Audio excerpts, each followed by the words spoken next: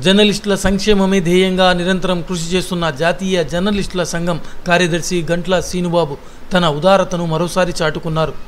Corona virus సమయంలో విధులు నిర్వహిస్తున్న జర్నలిస్టులకు తమ వంతు సాయం అందించాలన్న దృఢ సంకల్పంతో తన సొంత నిధులతో నిత్యావసర సరుకులను పంపిణీ చేశారు. విశాఖ సీతమ్మ ధార ఆంధ్రప్రభ కార్యాలయంలో సుమారు డెబ్బై మంది జర్నలిస్టులకు నిత్యావసర సరుకులను కిట్లను అందజేశారు.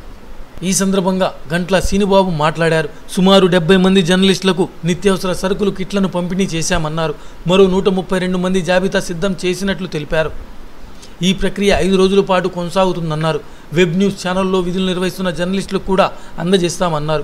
అయితే కేంద్ర రాష్ట్ర ప్రభుత్వాలు జర్నలిస్టులను ఆదుకోవాలని కోరారు. నిరంతరం సమాజం కోసం పాటుపడుతున్న జర్నలిస్టులని కేంద్ర రాష్ట్ర ప్రభుత్వాలు ఆదుకోవాల్సిన బాధ్యత ఉంది. ఎందుకంటే ఇటువంటి కరోనా విపత్కర పరిస్థితుల్లో ప్రపంచ దేశాలన్నీ కూడా గజగజలాడుతున్నాయి. మరి అటువంటి తరుణంలో జర్నలిస్టులు ఎంతో రిస్క్ చేసి తమ కుటుంబాలను పణంగా పెట్టి ఆసుపత్రుల వద్ద కానీ లేకపోతే విమానాశ్రయాల వద్ద కానీ వెళ్ళి సేవలు అందిస్తున్నారు.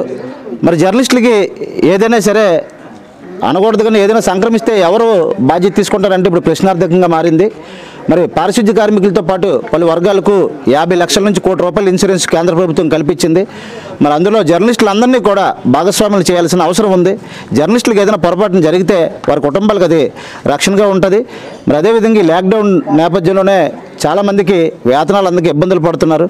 మరి అటువంటి వారికి ఆరు నెలలకు సంబంధించిన ప్రత్యేకంగా మృతి ఇవ్వాలని మరి నిత్యావసర వస్తువులు అందజేయాలని చెప్పేసి కోరుతున్నాం. మరి పక్కనే ఉన్న తమిళనాడు రాష్ట్రంలో గుర్తింపు పొందిన జర్నలిస్టులకి మూడు వేల రూపాయల వేతనం అందజేస్తున్నారు. మరి ఆ తరహాలోనే ఆంధ్రప్రదేశ్ ప్రభుత్వ ముఖ్యమంత్రి వైఎస్ జగన్మోహన్ రెడ్డి గారు కూడా పెద్ద మనసు చేసుకొని మరి పాత్రికేయులందరినీ కూడా ఆదుకోవాలని చెప్పేసి మరి కోరుకుంటున్నాం. మరి ఈరోజు అందుకనే నేను ప్రత్యేకంగా నా సొంత నిధులతో ఈరోజు విశాఖపట్నంలో ఉన్న పాత్రికేయులందరికీ కూడా దశల వారీగా సాయం అందించాలని నిర్ణయించాం మరి అందులో భాగంగానే సుమారు డెబ్బై మందికి ఇప్పటికే అందజేయడం జరిగింది. ఈరోజు ఒక నూట ముప్పై రెండు మందితో జాబితా రూపొందించుకున్నాం.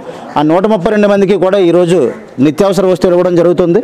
పది కేజీలు బ్రాండ్ బియ్యం అదేవిధంగా కేజీ కందిపప్పు కేజీ పంచదార కేజీ ఆయిల్ ఇచ్చి మరి ఈ లాక్డౌన్ టైంలో కొంతవరకు కూడా నా సాయం అందించాలని చెప్పేసి ప్రత్యేకంగా ఈరోజు ఈ కార్యక్రమం ఏర్పాటు చేయడం జరిగింది.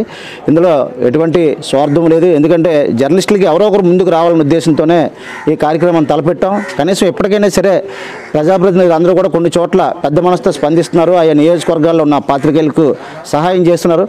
మిగతా నగరంలో కూడా మిగతా ప్రజాప్రతినిధులు అందరూ కూడా జర్నలిస్టులు ఆదుకోవాలని మరి నేను మరి మీ అందరికీ కూడా ఎప్పుడు ఇదే సహాయ సహకారాలు అందించాలని కోరుకుంటూ సెలవు తీసుకుంటున్నాను.